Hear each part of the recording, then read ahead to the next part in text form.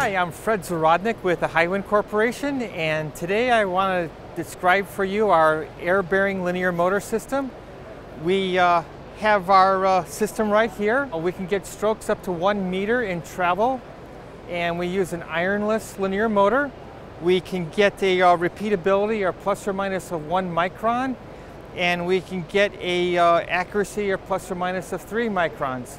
Uh, we proudly use the Renishaw linear encoder for this system.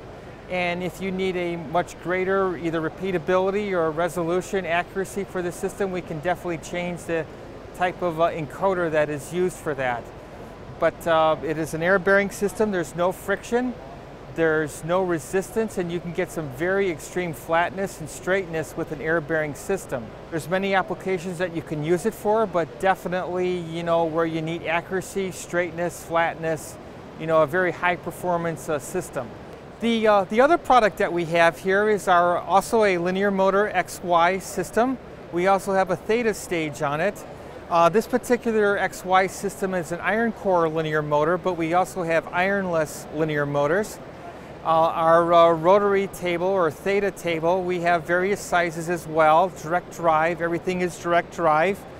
Our uh, encoder systems, we typically use Renishaw and we have various uh, resolutions and accuracies that you can get. With an iron core linear motor, we have a specialized design where you have minimal cogging. And then we also have the ironless, which has zero cogging. We also, with our uh, system, we also include the, uh, the servo electronics. It's all part of the Hiwin family. You don't have to go shopping for other uh, solutions. It's a one-stop shopping with Hiwin. We look forward to working with you on your system requirements, whether they be uh, you know, a linear motor system or just a uh, ball screw or a linear guide. Uh, please feel free to visit us on our website at www.hiwin.com. Thank you.